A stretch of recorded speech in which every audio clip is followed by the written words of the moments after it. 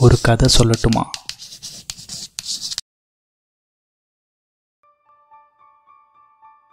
இந்திரன் மனைவி இந்திராணின்னு ஒருத்தவங்க இருந்தாங்க. அவங்க ஆசையாக ஒரு கிளியை வளர்த்தாங்க.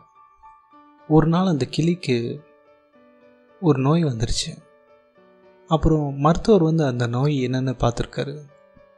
பார்த்துட்டு இந்த கிளி இனிமேல் பிழைக்காது. அவ்வளோதான் அப்படின்னு சொல்லிட்டு போயிட்டார். உடனே இந்திராணி இந்திரன்ட்ட போய் கிளியை எப்படியாச்சும் காப்பாற்றுங்க இந்த கிளி செத்து போச்சுன்னா நானும் செத்து போயிடுவேன் அப்படின்னு சொல்லி இந்திரன்ட்ட போய் இந்திராணி சொன்னாங்க. கவலைப்படாத இந்திராணி நான் உடனே பிரம்மாட்ட போய் சொல்லி இந்த கிளியை காப்பாற்றிடுறேன் ஏன்னா பிரம்மா தானே எல்லாரோடைய தலையெழுத்தையும் எழுதுறாரு அப்படின்னு சொன்னார். போய் பிரம்மாட்ட போய் இந்த மாதிரி சொன்னார். பிரம்மா இதெல்லாம் கேட்டுட்டு இந்திரா படைக்கிறது மட்டும்தான் என் வேலை. உயிரை காக்கிறதெல்லாம் அந்த சாட்சாத் மகாவிஷ்ணுவோட வேலை. ஸோ நம்ம அவங்ககிட்ட போய் கேட்கலாம். நானும் உன் கூடயே வர்றேன். அப்படின்னு சொல்லி இந்திரனும் பிரம்மாவும் நம்ம விஷ்ணுவை பார்க்குறதுக்காக போனாங்க. விஷ்ணுவோட போய் இந்த மாதிரி விஷயத்த சொன்னாங்க. உடனே மகாவிஷ்ணு அதை கேட்டுட்டு உயிர்களை காப்பது மட்டும்தான் என் வேலை.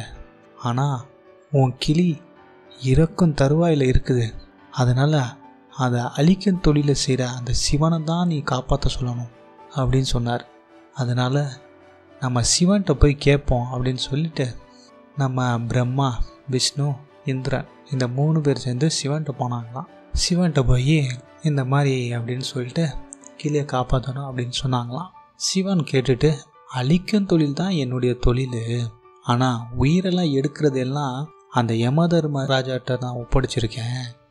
அதனால் நம்ம எல்லாரும் போய் அந்த யமதர்மனை பார்த்து இந்த கிளியை உயிரை எடுக்க வேணான்னு சொல்லிடுவோம் அப்படின்னு சொல்லிட்டு நம்ம சிவனை விஷ்ணு பிரம்மா இந்திரன் இந்த நாலு பேரும் சேர்ந்து யமதர்மா கிட்ட போனாங்க.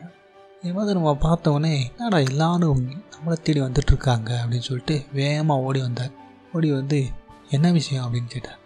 இந்த மாதிரி ஒரு கிளியை நம்ம காப்பாற்றணும் அப்படின்னு சொன்னார்.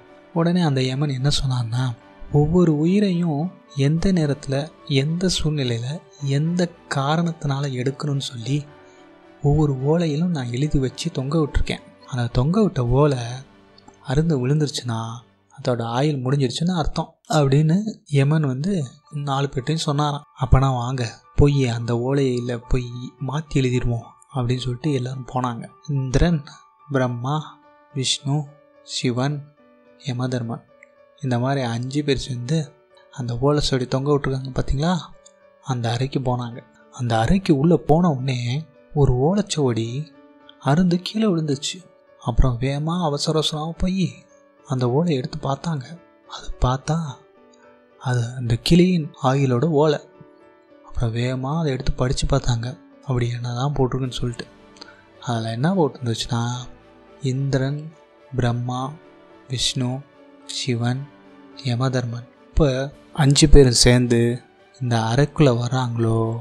அப்போ இந்த கிளி செத்து போயிடும் அப்படின்னு சொல்லி எழுதி இருந்துச்சான் இதுதாங்க விதிங்கிறது.